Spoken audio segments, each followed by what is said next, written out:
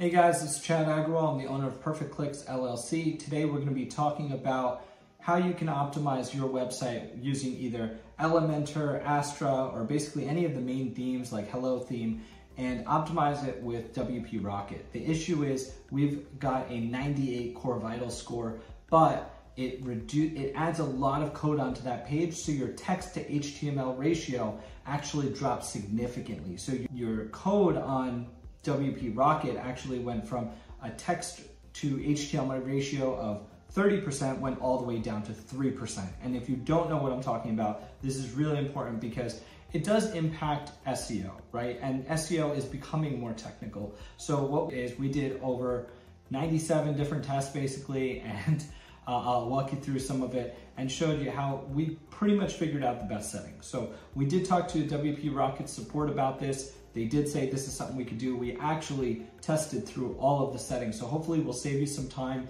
If you're a developer, that's great. If you're a website owner, you may want to reach out to us about how to do this. This stuff will impact your ads, it will impact your SEO, and it'll impact your traffic and your user, your load speed anyway. So um, this is a huge thing for getting indexed, getting ranked, and making the most out of your website. So again, it's info at perfectclicks.com if you need to help. Without further ado, let's jump into a video. I'll show you some of the results and the best settings up front, and then I'll get into some more of the granular detail, other things that you do want to watch out for, and I'll see you in the video. Let's jump into it.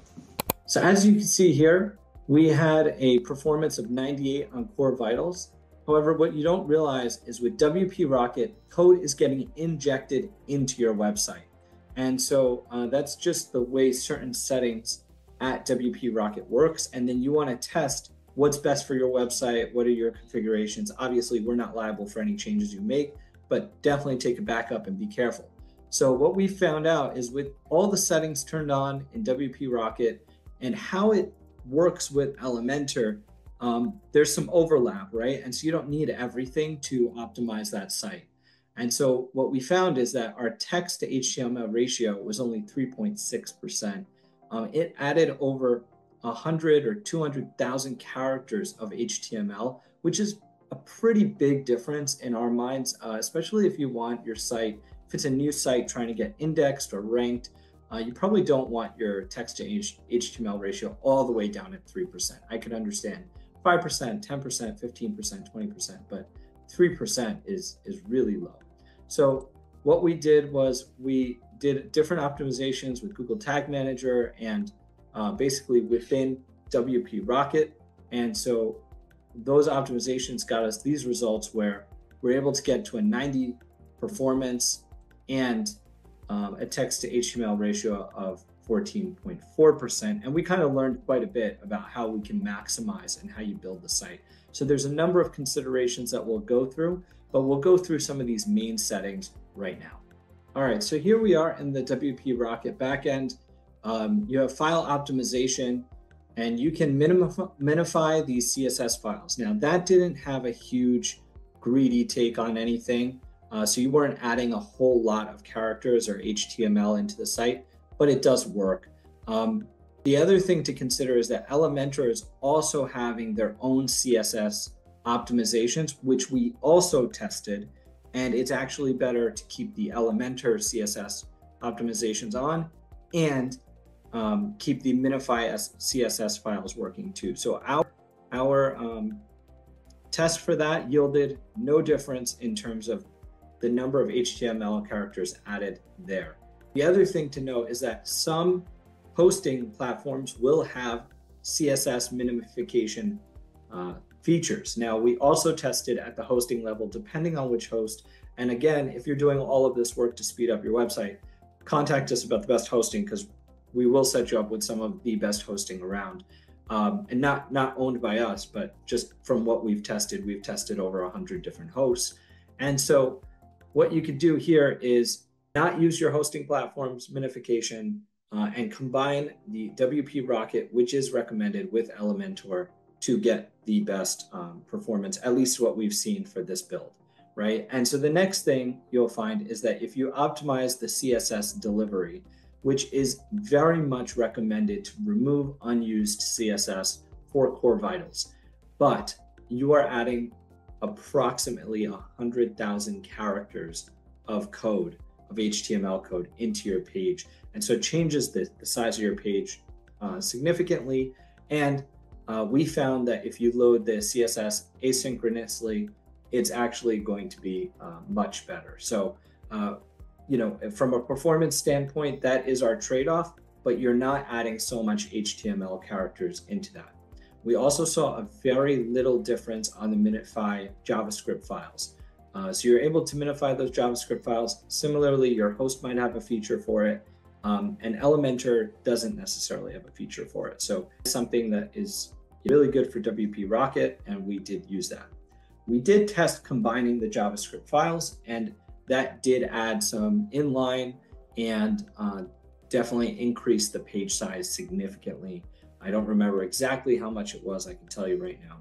It actually, uh, it increased it just just a little bit, maybe about 20,000 or so, or, or 10,000 characters. So uh, depending on your site, it might be a little bit different. Maybe worth to try testing yourself there. Um, but we also found that the load JavaScript deferred had a very low impact, uh, wasn't that big of a difference at all. So, um, or is a very small difference. So we definitely um, left that one checked. And so we're using that as well. But then this delayed JavaScript execution definitely uh, gave us a little bit of an issue, right? Uh, that added a lot of code to the page, and we actually chose to leave that off. Also, as you can see here, um, WP Rocket kind of confirmed all of this. We had actually tested it out already, but they, they confirmed that WP Rocket will insert code into the page, especially with the delay JavaScript execution and remove unused CSS. So those are two things that we found uh, to work. And they also did recommend as well to load the, uh, the CSS asynchronously. So that way, you know, um, it wouldn't add too much CSS on the page as well. So this is definitely something that's been confirmed by WP Rocket. I think that right now they're not prioritizing that text to HTML ratio. I just think you want to have it higher to the point where it's not an issue in terms of where you could be penalized, right? I, and that brings me back to that 3%. So that's definitely something to think about. You also want to look at your optimized uh, performance settings within Elementor. So Elementor has some really great settings. We chose and we tested each one of these. And so we chose to leave a lot of these on, especially the optimized control loading, which is currently in beta. It's an ongoing experiment. Um, the element caching is working, and then definitely the improved CSS loading. Um, inline fonts, additional custom breakpoints. Um, there was others here. Oh yeah, and lazy load background images. These are all really good settings that we found to be helpful and to boost your core vitals and also not have a huge character impact. And so this is one of the things that will help your Elementor work well with WP Rocket. Um, you could see here, we enabled lazy load for images, which did make a big difference, but we didn't enable it for CSS background images. And uh, we did add missing image dimensions. So those are two minor options that you can add as well. So another thing we decided to do was to change how the Google tags were loading. Now we did test them in a number of different um, places and ways to load them. And what we found is if you can combine your analytics with your Google Tag Manager, uh, it's just two pieces of code less that are running, two pieces of JavaScript that are running less. And you can have it initialize uh, with Google Tag Manager and while we haven't found an exact workaround for loading that or delaying that, uh, we just found it to be a necessary evil in this case. Uh, but it did make a, a, difference and you can load it right through Elementor. So that works pretty well too. Now, I just want to walk you through the number of tests that we did here. So you have the text to HTML ratio starting at 3.6. You can see here 68,000 characters, 13,000 characters of text we learned a lot of different ways to optimize the number of characters of text on the page. So those excerpts or how you code your Elementor containers can make a huge difference, right? And the order of elements can make an even bigger difference. So that way you're not delaying that loading of content and getting to that largest contentful paint as soon as possible, right? And so here you can see everything we've done. We tested from anywhere from 15% to 13% um, and then all the way up to 20. At, at one point, we had it over 30% as well. And so there's a lot of different things that you can do with your text and the amount of content on each page. And from a SEO standpoint, it makes sense, right? You would want to have more content on your page. This would make your page higher quality uh, to Google. So you can see here, we've done literally dozens and dozens of tests, testing out the different settings, going through that. And this is just one of the things when you do work with a company like ours, the level of detail that we'll go into to make sure that everything goes right. This is, is it takes years of experience and testing to get to this point as well. Similarly, right here on page speed insights, you'll see the performance down as low as 60. And we did many, many steps to optimize that largest, largest contentful paint, as well as reduce the impact of third-party code. We actually found other ways to reduce the number of large layout shifts as well. And these are things that really can be controlled within Elementor.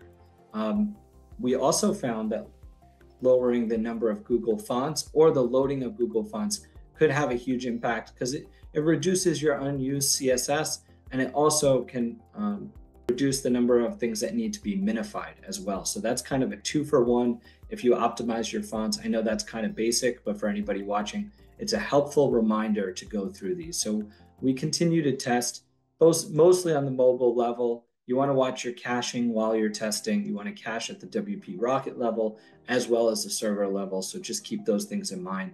But if you can really lower the amount of items that need to be loaded, lower them and really optimize your images. So here you'll see we were running into something with properly sized images, right? So you want to have really well optimized images and uploaded and tagged as the exact dimensions. That made a huge difference. That helped us get past the 90. You can see we're at 86, getting pretty close.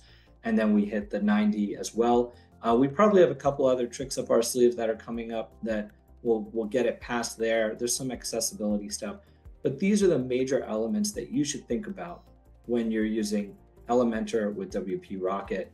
And so you can have a decent text to HTML ratio and use WP Rocket. It depends on what you're trying to prioritize for your website. I got it. It's all there. And we won't forget it now. So there you have it guys. Basically, you really should use WP Rocket with Elementor if you're trying to optimize for speed. It's one of the best ways currently. They're keeping up with all the updates and it really gives you an edge over your competition when your site is loading as fast as possible. It's giving users the best experience. And if you notice, your mobile rankings and people are on their phones, they're searching, your mobile traffic can significantly increase if you're impacting these kinds of changes. So we're looking forward to seeing you in the next video. Please do like and subscribe. If you need anything, reach out to us 844-4clicks or info at perfectclicks.com. We offer support packages, marketing packages, development packages, and all that. So see you in the next video. If you need any help, let us know. Please do reach out to us if you need help and leave a like and subscribe. Thank you.